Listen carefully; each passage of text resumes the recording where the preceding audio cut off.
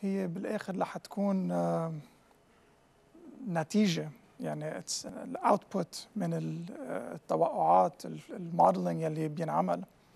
في عندك فجوه بدك تنزليها؟ تعملي واحد اثنين ثلاثة أربعة رح يبقى مبلغ بالآخر ما في حدا يسكره. بده يتقسم خسر بدك عارفين إنه في مبلغ ما ما بيتسكر. ما في ما حدا بيقدر يدفع.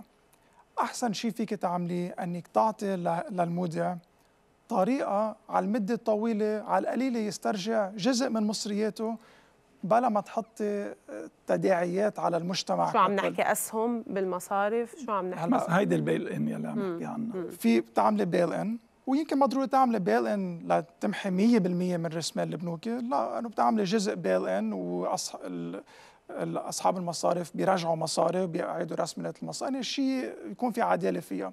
بس مع البيل ان كمان في عندك جزء ما بتكفي البيل ان ما بتكفي حتى. أه شو بس بس آخر نقطة.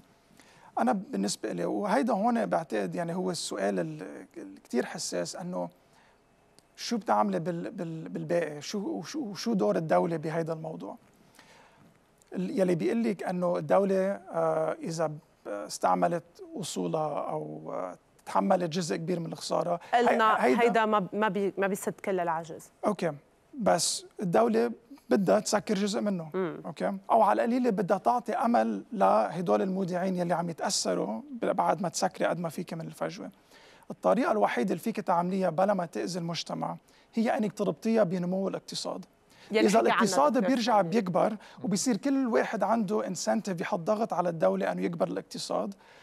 من هيدي الأرباح يلي بتجي من إنه الاقتصاد عم يرجع فينا نستعمل جزء منها لحتى نسكر الخسارات القديمة.